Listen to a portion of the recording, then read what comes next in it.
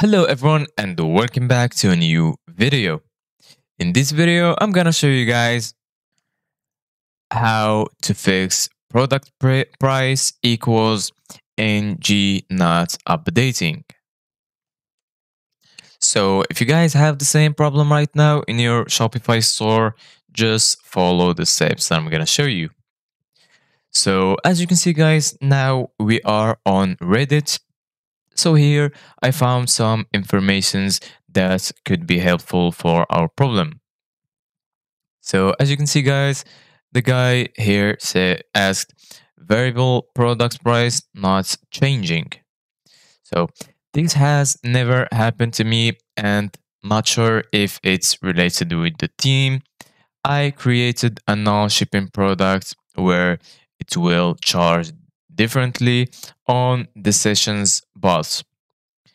The moment I select separate session, the pricing does not change, nor does it allow me to add it to one card.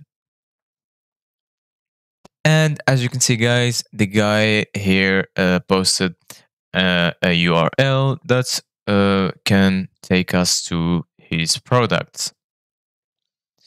And also, the guy suggested a supercharge to uh, a bundle to supercharge your Shopify store with Kolio. It is free. So as you can see, guys, here a guy suggested to make sure you've set this as a non-physical product.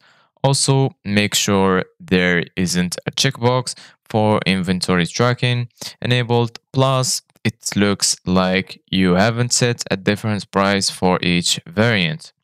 Although I do see that you're using a ThemeForest theme, so I can't tell that your theme isn't broken.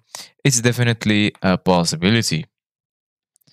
So guys, you can try uh, to set this as a non-physical product that might help to fix your problem that you're having right now. So this is it guys for today's video. Thank you guys for watching. See you guys in the next video.